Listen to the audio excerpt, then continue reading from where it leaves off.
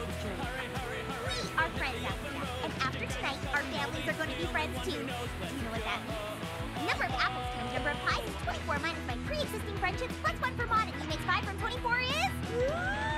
19 new friendships!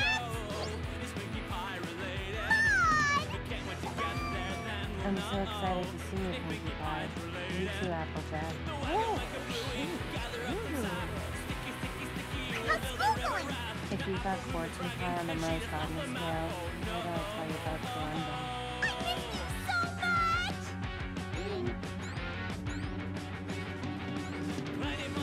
I miss you so much! this place looks amazing.